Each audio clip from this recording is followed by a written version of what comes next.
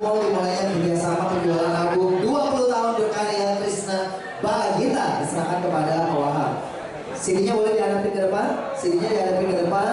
Sambil bersalaman lihat kamera, kamera depan dulu, karena ini semua kamera banyak banget, kamera depan dulu, kamera depan. Baik, eh, pertanyaannya udah cukup terjawab. Dan teman-teman media, teman-teman kameramen, ayo siapin kameranya. Karena eh, sesi Q&A udah. Saya. aku bilang memang beda tampangnya hari dari launching yang sebelumnya. Hari ini keren, udah kayak umur 45-an.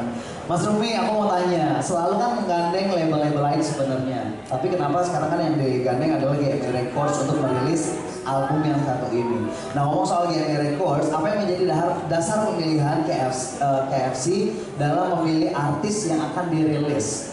Pasti kan melalui tahap eh, evaluasi, pertimbangan dan lain-lain, sehingga akhirnya milih artis eh, tertentu. Dasarnya apa aja Pak? Di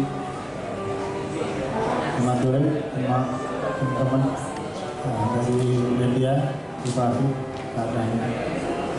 Ya yang pertama gini, eh, dari game itu menawarkan satu konsep yang menurut saya ini konsep yang eh, unik gitu.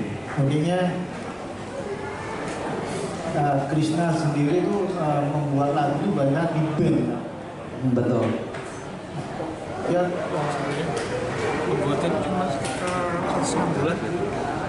Awalnya gara-gara memang udah ini udah ada selentingan kalau apa mau dibuatin album yang penyanyinya banyak gitu. Cuman campur-campur lagunya saya cuman gitu aja. Tapi prosesnya masuk semua campur. Ada yang dari saya, ada yang dari label juga. Iya, kalau bukan musik yang orang yang orang sana minta labelnya. Menurut labelnya ini paling hit. Ya saya ikutin aja.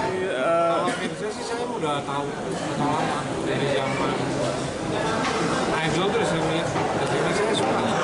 Sebenarnya lagunya masih kosong. Terus saya tawarin dia mau. lagu ini tuh aku waktu aku SMA masa SMA aku denger lagu ini di album uh, anak rap. Dan ini kesempatan banget buat Firza bisa nyanyi lagu ini ya. Satu kebanggaan yang besar satu kebanggaan yang besar. Percaya sama pencipta lagunya langsung gitu. Jadi yang mudah-mudahan bisa bisa membawakannya dengan baik ngasih pesan pesannya nyampe gitu kan. Ya itu. Kesulitannya kalau lagu La- Langit Tujuh Bidadari ada cepat habis kan. Jadi kalau untuk eh, penempatan katanya itu rada susah kalau aku pribadi ya. Karena biasanya kan eh, single-singleku sebelumnya itu memang rada ah, slow banget. Jadi nggak yang upbeat jadi untuk nyesuaiin beradaptasi dengan lagu itu rada sedikit sulit. Tapi semakin kemari waktu kemarin waktu rekaman eh, jadi langsung namanya langsung back gitu. Pelan-pelan pelan-pelan ya akhirnya bisa sih. Bisa didengar-dengar lagi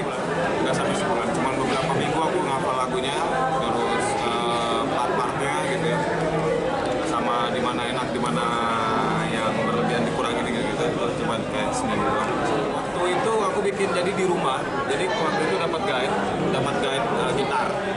Ini kebiasaanku dari dulu kalau misalnya uh, ngerecycle apa recycle recycle lagu aku nggak pernah denger lagu yang aslinya. Paling paling banyak itu tiga denger lagu yang aslinya. Jadi lagu yang uh, yang aku aku, aku, aku, aku bikin vokal sendiri aku rekam sendiri vokalnya itu yang aku dengar ya mudah-mudahan dari situ tidak terpengaruh dengan uh, dengan cara ma, apa namanya uh, penyanyi aslinya bernyanyi gitu. ini pertama kali saya langsung. Jadi saya cuma mikirnya nggak mau pakai drum nggak mau pakai drum saya pikir cuma pakai perkusi aja.